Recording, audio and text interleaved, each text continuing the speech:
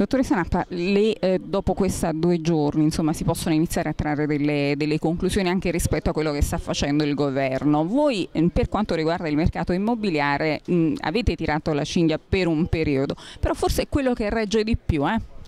Ma regge perché finalmente adesso il mercato ha trovato una sua stabilizzazione, eh, ora diciamo abbiamo le banche più vicino, eh, quindi sono, sostengono molto di più l'acquisto. E questo per quanto riguarda il mercato della fascia medio-medio alta. Poi abbiamo la fascia dell'Axory dove ci collochiamo noi con il marchio Sant'Andrea che è, insomma è una fascia che continua la sua uh, dire, espansione anche perché è cambiato l'approccio sia alla vendita che all'acquisto. Vendita perché sono cambiati gli asset proprio familiari, quindi non c'è più ragione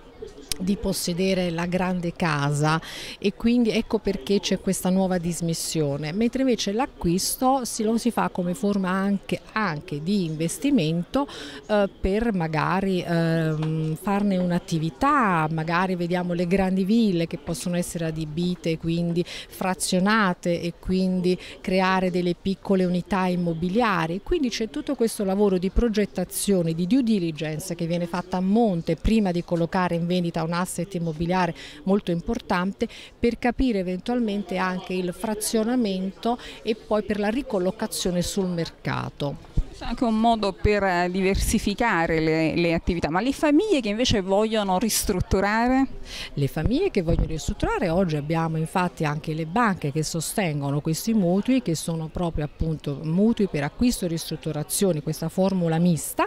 e che sta aiutando e dando i buoni frutti e questo ci consente di avere una vivacità immobiliare data dal numero di transazioni normalizzate che eh, consente appunto di avere dei numeri positivi a fine. Eh, infatti adesso abbiamo presentato, presenteremo il nuovo listino nelle quali vedremo proprio che i numeri andranno leggermente in positivo, anche se i valori probabilmente restano un po' inferiori alle medie rispetto a dieci anni fa, però siamo fiduciosi che il numero delle transazioni sta aumentando.